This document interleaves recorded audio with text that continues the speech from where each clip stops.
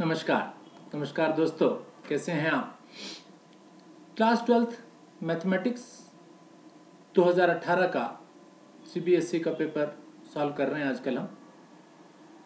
तो उसका section D हम लोग डिस्कस कर रहे थे। तो उसके सेक्शन डी में काफ़ी सारे क्वेश्चंस हमने डिस्कस कर चुके हैं। कुछ क्वेश्चंस इस सेक्शन में, इस वीडियो में हम आपके साथ डिस्कस कर रहे हैं। सबसे पहला क्वेश्चन जो आपके सामने है, ये बहुत इंपॉर्टेंट टॉपिक है। एप्लीकेशंस ऑफ़ डेरिवेटिव अब एप्लीकेशंस ऑफ़ डेरिवेटिव का ये क्वेश्चन डेफिनेटली हर हाल में आपका एग्ज़ाम में पूछा जाता है। और स्टूडेंट इस टाइप के क्वेश्चन से बहुत ज़्यादा डरता है, बहुत ज़्यादा घबराता है। तो आपको उस क्वेश्चन से डरना नहीं है, घबराना नहीं है। थोड़ा सा प्रैक्टिस करने से ये इजिली समझ में आ जाता है। देखते हैं इसी क्वेश्चन को देखते हैं और बताते हैं इसमें कुछ बातें इंपॉर्टेंट बातें जो आपको याद रखनी होंगी। यहाँ क्या बोला गया? An open tank with a square base एक टैंक है और वो भी ओपन है। ओपन का मतलब क्या होता है? ओपन का मतलब होता है ऊपर से खुला हुआ। ठीक है? And vertical sides vertical sides का मतलब साइड्स बिल्कुल सीधी सीधी is constructed from the metal sheet so as to hold a given quantity of water. Show that the cost of material will be least when the depth of the tank is half of its width. अब इसमें सबसे पहली चीज़ तो मुझे इन questions में या इस type के प्रॉब्लम्स में देखना होता है कि एक चीज़ गिवन लिखा होता है एक वर्ड ये देखिए यहाँ ये गिवन लिखा है गिवन क्वांटिटी ऑफ़ वाटर भाई, कोई टैंक है, उसमें वाटर की क्वांटिटी गिवन है। गिवन का मतलब वो फिक्स है। फिक्स का मतलब that behave like a constant ये चीज़, इस टाइप के क्वेश्चंस में एप्लीकेशन ऑफ़ डेरिवेटिव का मैक्सिमम मिनिमा पर बेस्ड प्रॉब्लम होता है ये। तो इसमें ये गिवन क्वांटिटी जो है, सबसे पहले तो इस चीज़ को ढूंढिए कि व्हाट इज़ फिक्स उसके बाद हमें शो क्या करना है? कॉस्ट ऑफ़ मटेरियल अब उस बॉक्स को या उस टैंक को किससे बनाया जा रहा है? मेटल से बनाया जा रहा है। उस मेटल का ही कॉस्ट लगेगा जी। ठीक है? अब उस मेटल का कॉस्ट जब लगेगा तो मेटल उसकी वॉल्स को बनाएगी। और कितनी वॉल्स को बनाएगी? फाइव वॉल्स को बनाएगी। क्योंकि क्या बताया गया? ओपन टैंक है जी। ओपन टैंक का मतलब ऊपर से खुला ऊपर से खुला का मतलब साइड की चार दीवारें हैं और नीचे बेस भी प्रेजेंट है। और बेस कैसा है? स्क्वायर बेस है। ठीक है? स्क्वायर बेस का मतलब नीचे लेंथ और ब्रेथ इक्वल है। आइए देखिए धीरे धीरे सॉल्यूशन स्टार्ट करते हैं इसका। तो हमने जब स्क्वायर बेस दिया हुआ है हमें तो हमने क्या किया? Length is equals to a breadth is also equals to a. क्योंकि बेस स्क्वायर है। और हाइट डिफरेंट है। तो हाइट को मैंने एच ले लिया। ठीक है? लेंथ ब्रेथ और हाइट ये तीनों चीज़ें आपके पास आ गई। अब आपको दिया है कि वॉल्यूम फिक्स है। तो अगर इस लेंथ ब्रेथ और हाइट से उस टैंक के वॉल्यूम को निकालें हम तो volume is equals to length a breadth a and height H तो v is equals to a square into H ठीक है? यहाँ पर ये v जो है, ये गिवन क्वांटिटी है, यानी ये v फिक्स है। और उधर a और h जो है, ये वेरिएबल है। आपको क्या करना है? हर एक क्वेश्चन में इस टाइप से ढूंढना है। सबसे पहला काम यही करना है कि जो चीज़ गिवन है, उसकी टर्म में एक्सप्रेस कर लेना है बाकी दो वेरिएबल्स को। अब इस वेरिएबल को, या इन वेरिएबल्स में जो दो वेरिएबल हैं ए स्क्वायर ए और एच किसी एक की वैल्यू इस वी और दूसरे की टर्म में निकाल लीजिए। मान लीजिए मैं एच की वैल्यू यहाँ से निकाल लेता हूँ तो वो किसके इक्वल आ जाएगी? That will be V divided by a square H is equal to V divided by a square यानी मैंने एच की वैल्यू वी और ए की टर्म में निकाल लीजिए। इज़ इट फाइन ठीक। ठीक है? तो ये मैंने आपके सामने देखिए बॉक्स बना दिया, या वो टैंक बना दिया, जिस टैंक को आपने कंस्ट्रक्ट करना है, और इसका ये और ये दोनों सेम है ए और ये ए बेस स्क्वायर की फॉर्म में है, और हाइट ये एच एच है। तो आपको क्या करना है? Cost of material will be least तो मटेरियल जो है वो किस, कौन सा लगने वाला है? वो लगने वाला है जी मेटल का जी। कहाँ पर लगेगा? एक तो इस बेस पर लगेगा। कितना? आपने कहा उसका एरिया होगा length into breadth a into a ठीक है? फिर उसके बाद ए इंटू एच एक ये वाला और एक ए इंटू एच साइड वाला। फिर ए इंटू एच ये वाला और ए इंटू एच पीछे वाला। तो four time a into H मेरे पास ये आ जाएगा। तो ये वो एरिया हो गया जितने एरिया में मेटल लगने वाली है। इसको मान लीजिए मैं, इसका सरफेस एरिया के टर्म में एस से रिप्रेजेंट कर तो आपने देखा कि वो जो सरफेस एरिया है, वो कितना हो गया? A square plus four a H अब आप देखेंगे कि जब मैं ए की वैल्यू या एच की वैल्यू चेंज करूँगा तो इसका सरफेस एरिया कम या ज़्यादा होता चला जाएगा। इसका मतलब ये सरफेस एरिया एक वेरिएबल क्वांटिटी है वेरी करेगी जी किस किस पर डिपेंड कर रही है?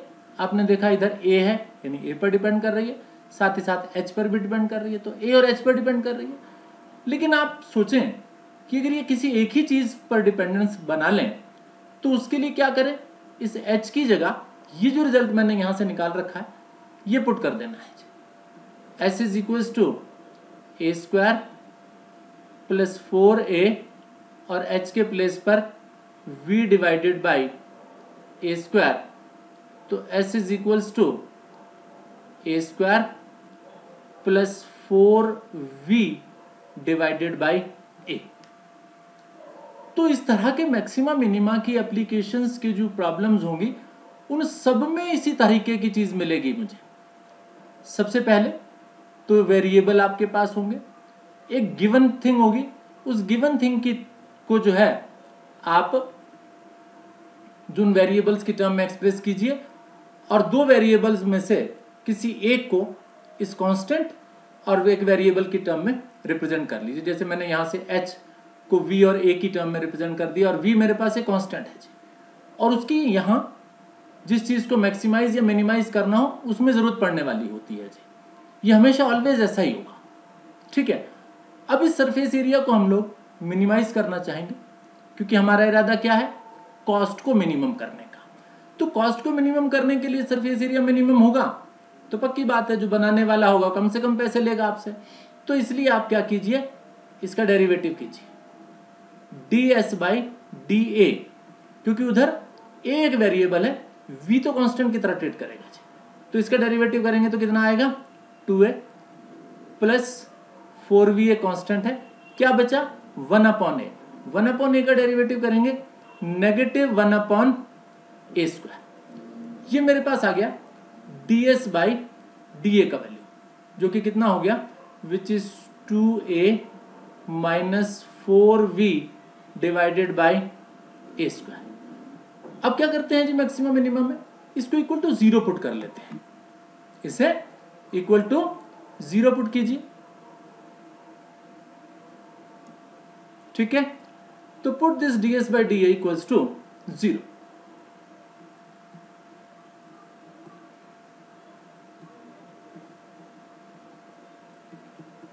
यानी two a minus four V upon a square is equal to zero या आप कह दीजिए ए स्क्वायर से अगर मल्टीप्लाई कर दूँ तो मेरे पास कितना आ गया?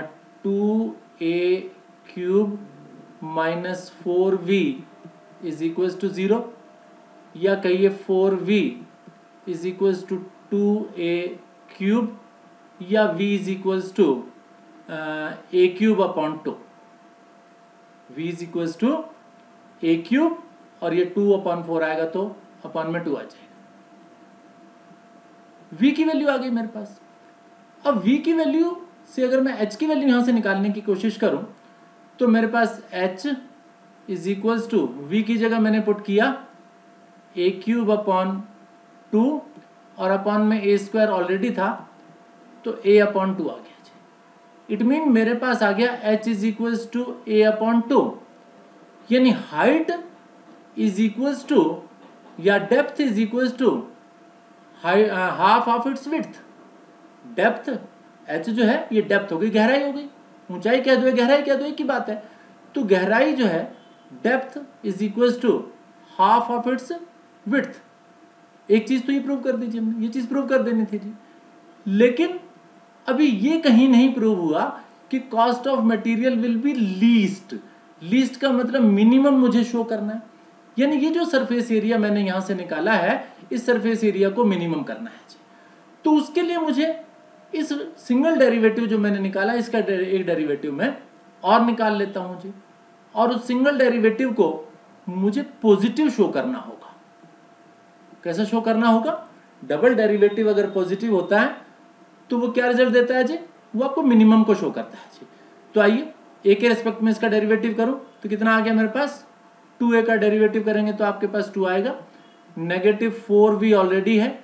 ये वन अपॉन ए स्क्वायर है। इसको अगर मैं ऊपर ले जाऊँ तो नेगेटिव टू आगे ले आइए ए की पावर माइनस थ्री यानी मेरे पास जो रिज़ल्ट आ गया, ये पॉजिटिव और ये भी माइनस माइनस बन करके ये एक पॉजिटिव रिज़ल्ट आ जाएगा बस केवल मुझे पॉजिटिव नेगेटिव ही देखना था तो मेरा रिज़ल्ट पॉजिटिव आ गया। तो सरफेस एरिया क्या हो गया? मिनिमम हो गया। लेकिन कब हो गया? When H is equal to a by two यानी depth is equal to half of its width तो आपने कहा surface area is minimum when depth is equal to half of its width तो यहाँ चलिए मैं लिख देता हूँ थोड़ी सी जगह बना करके। Surface area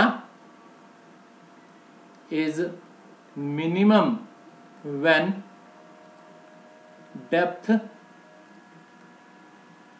is half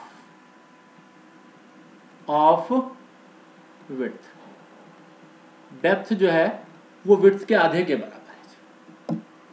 ठीक है? तो इस तरह के क्वेश्चंस का थोड़ा सा प्रैक्टिस कीजिए। और बड़ी आसानी के साथ आप इसको कर पाएँगे। तो प्लीज़ थोड़ा सा प्रैक्टिस आप करने, करते ही ये एक लंबा, बड़ा, ज़्यादा मार्क्स का क्वेश्चन आप आसानी से सॉल्व कर पाएँगे। ठीक है? ठीक। अगले क्वेश्चन की तरफ़ बढ़ते हैं। अगला क्वेश्चन मेरे सामने देखते हैं क्या है। Suppose a girl throws a die if she gets one और two she tosses a coin three times and notes the number of tails कहता अगर उसने एक, जब एक डाई को थ्रो किया तो डाई पर आप जानते हैं one two three four five six आता है।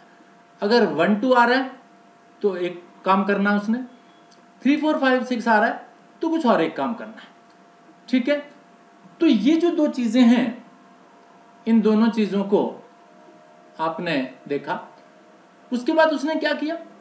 अगर वन टू आता है तो एक कॉइन को तीन बार उसने फेंका। और अगर थ्री फोर फाइव सिक्स आता है तो एक कॉइन को एक ही बार फेंका और हेड और टेल नोट किए, जो भी आएगा। If she obtained exactly one tail अगर उसका एक टेल आया what is the probability that she throws three four five six तो सबसे पहले तो मुझे समझना है ये किस चीज़ का या किस टॉपिक से बेस्ड प्रॉब्लम है। ये क्वेश्चन बेस थ्योरम पर बेस्ड है बेस थ्योरम पर प्रेजेंट है। अब बेस थ्योरम में क्या होता था? अगर मैं जल्दी से एक आइडिया दूँ बेस थ्योरम में हमारे पास कोई भी एक एक्सपेरिमेंट हम लोग करते थे और उस एक्सपेरिमेंट में जो भी मेरे पास इवेंट्स बनते थे उन्हें मैं चलिए एच वन और एच टू मान लेता हूँ। यहाँ पर मुझे एच वन और एच टू क्या दिखाई दे रहा है?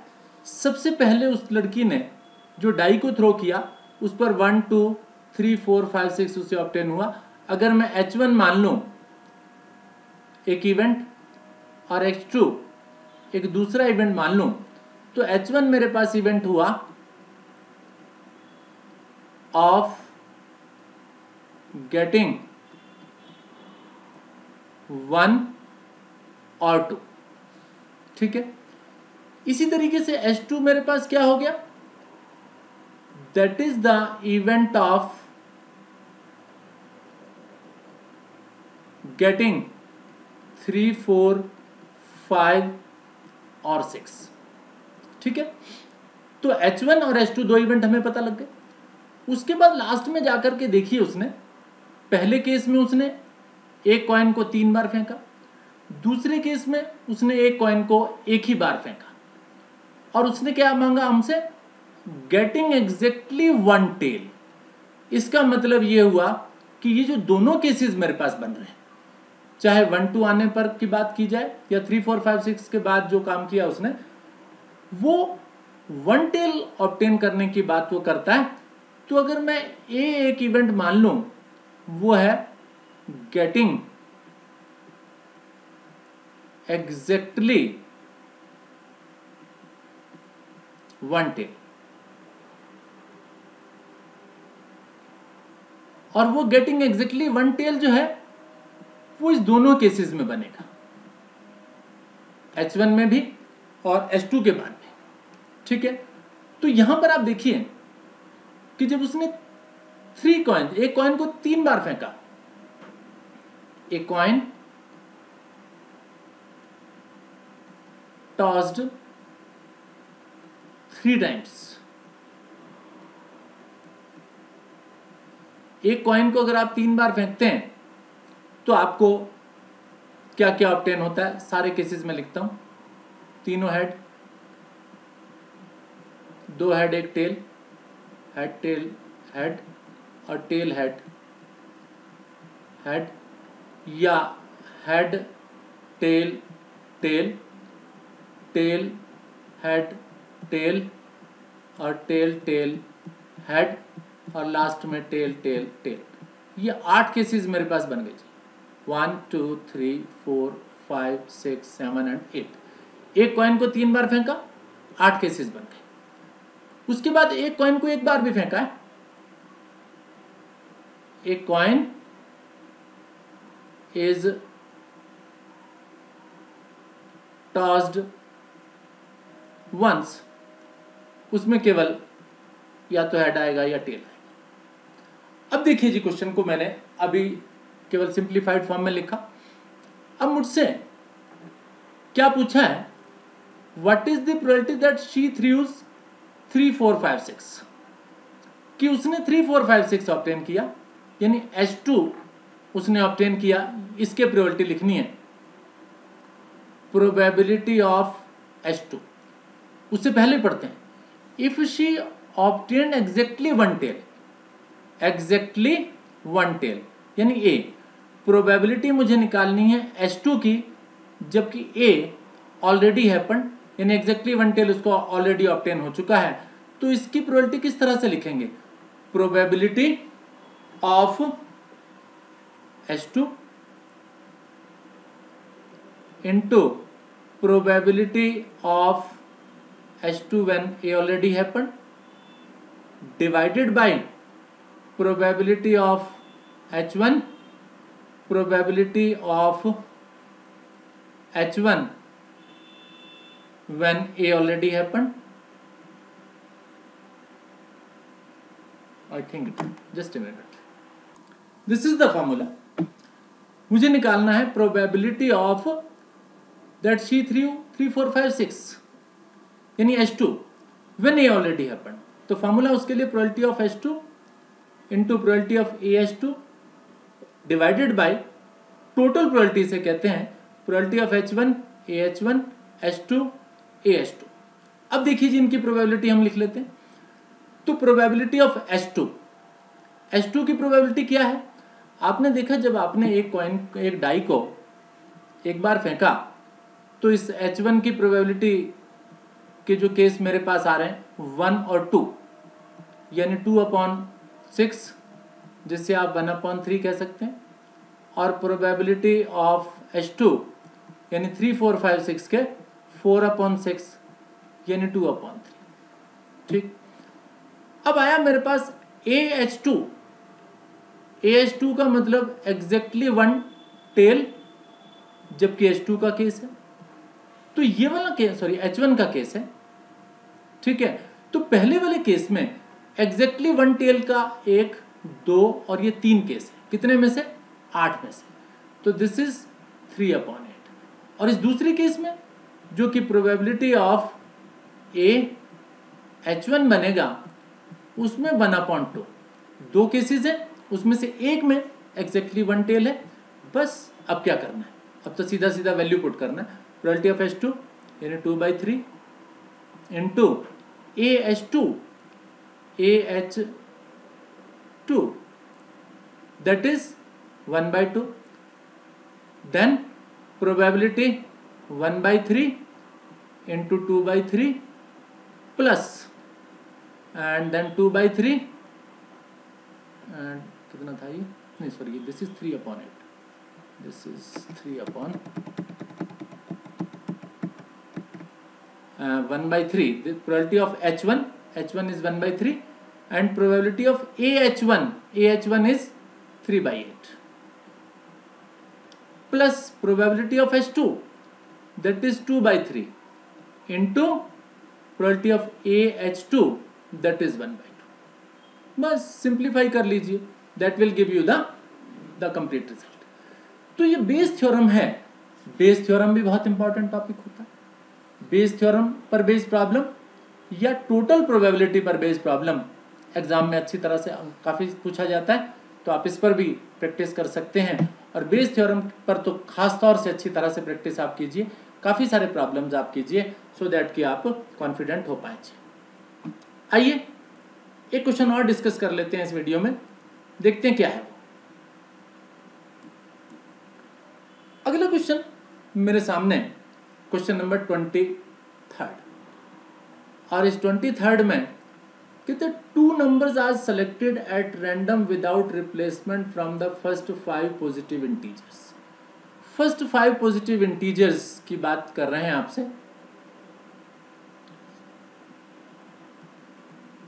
First five positive integers one two three four and five ठीक है? क्या किया गया? इसमें से दो नंबर्स को चूज़ किया गया। ठीक है? विदाउट रिप्लेसमेंट चलिए, मैं सारे ऑप्शन बना लेता हूँ आपके सामने। वन पहले मैंने चूज़ किया। उसके साथ टू हो सकता है। वन के साथ थ्री हो सकता है। वन के साथ फोर हो सकता है। वन के साथ फाइव हो सकता है। इसी तरीके से मान लीजिए मैंने टू लिया, रिप्लेसमेंट करना नहीं है जी विदाउट रिप्लेसमेंट है विदाउट रिप्लेसमेंट है जी। ठीक है तो इसका मतलब वन वन वाला केस नहीं आएगा, टू टू वाला केस नहीं आएगा। तो टू के साथ वन, ये ऑलरेडी है तो आपके पास आ गया टू थ्री, टू के साथ फोर टू के साथ फाइव, ऐसे थ्री के साथ फोर थ्री के साथ फाइव एंड देन फोर के साथ फाइव कितने केसेस हो गए? One two three four five six seven eight nine ten तो आपसे कहा गया two numbers are selected at random from the first five positive integers इसके बाद कहते हैं X denote the larger of the two X denote the larger of two X जो है, इनमें से जो बड़ा है ना, उसको एक्स ले बता रहे हैं जी आप। तो आइए एक्स की वैल्यू क्या हुई जी? आपने देखा एक्स यहाँ कितना हो गया? लार्जर ऑफ़ टू टू यहाँ कितना? थ्री यहाँ फोर यहाँ फाइव यहाँ कितना? थ्री यहाँ क्या? फोर फाइव यहाँ कितना? फोर यहाँ कितना? फाइव यहाँ कितना? फाइव राइट ना? तो आपके पास ये फाइव इज़ इट फाइन तो अब आप ये देखिए कि x की जो वैल्यूज़ मेरे पास आ गई, वो या तो टू है थ्री है फोर है, और फाइव है. तो अगर मैं यहाँ पर उस x को लिखूं तो मेरे पास टू थ्री फोर और फाइव ही तो है। अब मुझे क्या करना है? X denote the larger of the two तो वो आपने जब लार्जर ऑफ़ द टू यानी ये जो ऑप्शंस आपने बनाए थे, इनमें से जो बड़ा वैल्यू है, एक और दो में कौन बड़ा? दो। एक और तीन में कौन बड़ा? तीन। एक और चार में कौन बड़ा? चार। तो आपके पास केवल चार ही वैल्यूज़ आई। टू थ्री फोर और फाइव ये आपके पास बन गया एक्स की वैल्यू क्वेश्चन क्या पूछा? Find the mean and variance of X mean and variance of X यानी प्रोबेबिलिटी का प्रॉब्लम है जी तो आपने क्या करना है? इनका प्रोबेबिलिटी भी निकालना है। ठीक है?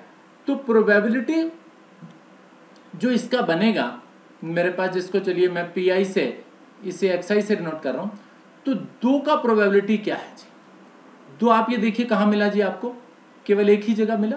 इन सब में देख रहे हैं, एक ही बार है तो ये हो गई वन अपॉन टेन क्योंकि ये दस केसेस हैं। उन दस, देखिए, गिन सकते हैं। एक, दो, तीन, चार, पाँच छ सात, आठ, नौ और ये दस। दस में से केवल एक ही केस आपके पास है जहाँ पर टू आ रहा है। तो दो केसेस हो गए जी। अगर मैं तीन ढूँढने की कोशिश करूँ तो तीन मुझे दो बार मिल रहा है जी। तो तीन की प्रोबेबिलिटी होगी टू बाई टेन चार ढूँढने की कोशिश करूँ तो चार मुझे तीन बार मिल रहा है जी। थ्री बाई टेन और पाँच ढूँढने की कोशिश कर रहा हूँ तो पाँच भी मुझे तीन बार मिल रहा है। पाँच मुझे, एक, दो, तीन, चार बार मिल रहा है। ठीक है? तो that is four by ten इन सबका सम वन आना चाहिए। चार और तीन, सात दोनों दस। ठीक है ना? क्योंकि सारी की सारी प्रोबेबिलिटीज का जो सम आपके पास आता है दैट इज़ ऑलवेज वन ठीक है? तो मेरे पास एक्स आई आ गया, मेरे पास पी आई आ गया। मुझे क्या चाहिए? मीन निकालना। है mean of the random variable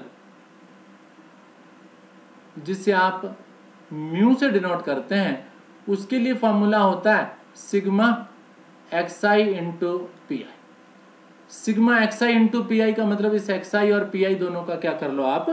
multiplication कर लो तो वो मीन निकल आएगा आपके पास। ठीक है? तो मीन निकाल देते हैं जी उसको। करेक्ट तो X I into P I तो इसका मल्टीपल करूँ तो two upon ten this is six upon ten twelve upon ten और ट्वेंटी अपॉन टेन इन सबको ऐड कर लूँ, बीस और बारह बत्तीस और छियातीस फोर्टी अपॉन टेन तो फोर्टी अपॉन टेन का मतलब फोर आ गया तो दिस गिव्स मी तो मीन का वैल्यू तो मेरे पास इस रैंडम वेरिएबल एक्स का जो मीन आ गया दैट इज़ फोर अब चाहिए मुझे वेरिएंस जिसे सिग्मा स्क्वायर से रिप्रेजेंट करते हैं आप। फॉर्मूला उसके लिए sigma X I square P I minus sigma X I P I का होल स्क्वायर ठीक है? तो आप यहाँ देख रहे हैं X I square P I भी मुझे चाहिए जी। तो ये एक्स आई पी आई का वैल्यू तो है मेरे पास। मैं अगर एक्स आई का स्क्वायर कर लूँ, यानी इसको एक बार एक्स आई से और मल्टीप्लाई कर लूँ तो एक्स आई का स्क्वायर बन जाएगा ये मेरे पास। ठीक है? तो आइए, इसको भी निकालते हैं। तो मेरे पास कितना आया जी? आपने टू से इसको और मल्टीप्लाई कर लेना एक बार तो फोर अपॉइंट टेन आएगा।